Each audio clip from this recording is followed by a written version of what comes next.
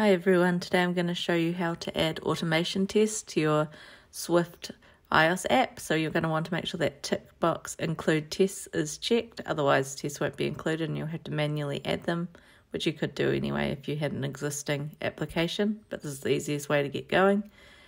You're going to want to add some of your content. So I've got my um, content view here. It's going to have a button that increases a counter and I'm also going to show you how to test logic that might exist outside of the UI. So I'm going to create a um, Swift file called test functions, and it's going to have a couple of very simple algorithms that I want to do some unit tests for. With your Swift tests, it's going to give you two projects. So you got the um, you've got one for unit tests and one for the UI tests. So yeah, this is my UI that I'm going to test here that I'm showing you now. It's got a label with zero and a button that will increase the counter. And when it is pressed, it'll go one, two, three, four, so on and so forth.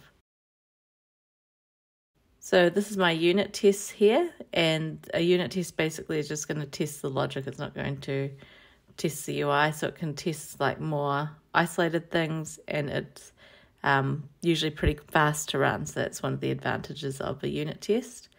I'm going to test my um, is even function. I'm going to test whether my even number is true, which should be true.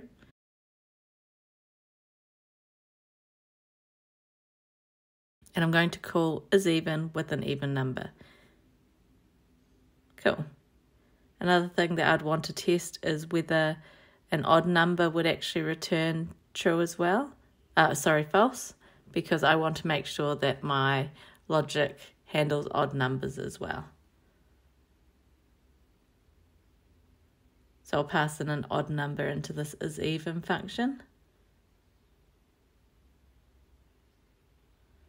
You can do um, set up and um, tear down inside the code, but there's nothing I really need to set up or tear down inside this unit test. I'm also going to do a performance test. So you can do a performance test and it'll measure the performance of the code inside this self.measure block. So I'm going to call my Fibonacci recursive function, which if you know anything about Fibonacci recursive function, it's actually exponential time complexity, which means as you increase the parameter input to it, it's going to like exponentially increase the time that takes to run. So with the input of one, it's going to be very quick to run. But with um, higher inputs, it's going to get slower and slower and slower. So I'm just using that as a um, example of how to test it and show a performance difference. You're going to want to set a baseline once you're happy with the baseline. And like in a reality, I wouldn't adjust the actual parameter I was testing with. I would it would be more to ensure that if someone added to my Fibonacci recursive function, it didn't perform any regression, uh, cause any regression issues.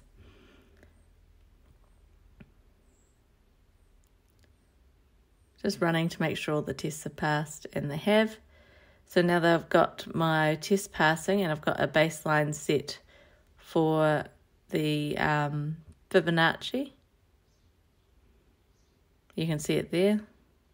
I could edit it as if I wanted to as well, or I could accept a changed result.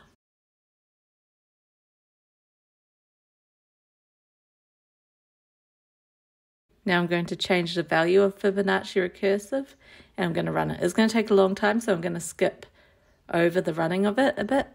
Um, but it's basically, I'm using this to emulate a long running um, test so that I can show you that there's been a change so you see when it stops, it's actually failed. And if I were to click on it, it just tells me that it's however much percentage worse than what was baselined. And I think anything over 10% is a test failure. So now I'm inside my UI tests um, and I'm going to show you how to add some logic to test like the button press and check the values of the labels. So if you try to do this app.launch of your XC UI application inside your unit test, it'll probably fail because it's not configured to allow that. Um, and it's good to keep your sort of test types sort of separate. It's just good separation of concerns. So the first step, what I've done is I'm looking for all the static text, which is just like that label text, which had zero in it. And I'm just finding the first one because there's only one on screen, but you can also use the accessibility label to do this sort of thing. And I'm just going to check that the value is currently zero. It should be when that first launches as that's the initial value for the state variable.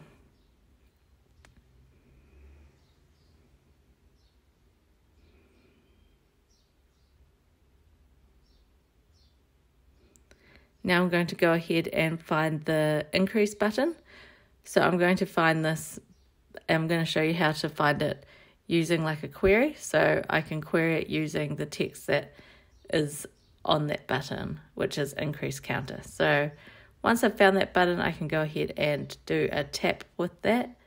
And what that's going to do is it's going to increase my counter and now I can test that the label text has changed to 1 because there's been a tap, so that would increase the value of that counter state variable.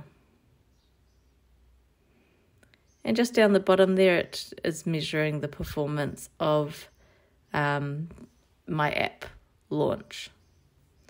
So when it does it, it actually does it multiple times. I think it might be 10 times. And you can see how it flipped on the side there and um, showed um, different colours. That's it testing different orientations. Um, and that's the final test I'll show you in a second.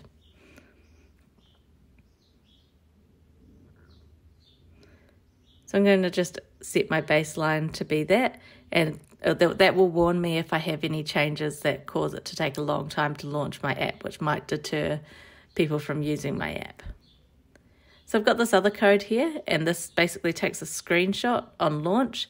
It can be used for verifying if things fail. So you might want to be like, okay, so something's failed, and I don't know what the app looked like at that time. It can be useful to look back at and see why things are different to what you expected. And so that's what that is for. And I'm just showing you how to find the screenshots here now. So you're going to go to your um, your test that uses the screenshots. And if you have set it to keep always, then you should be able to find the screenshot. You can see that there's one down here and I can just open it and it'll show me the screenshot.